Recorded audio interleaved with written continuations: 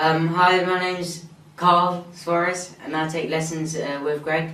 I live in Wimbledon. I I'm into rock, so being with Greg is quite cool. Lessons are fun, and hopefully one day I'll become a you know good guitarist and rock star.